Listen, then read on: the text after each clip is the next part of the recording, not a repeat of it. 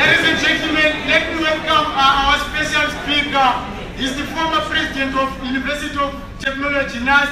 He's the former SRC Zimbabwe president, and he's the former ASU chairman, Varane Telusu.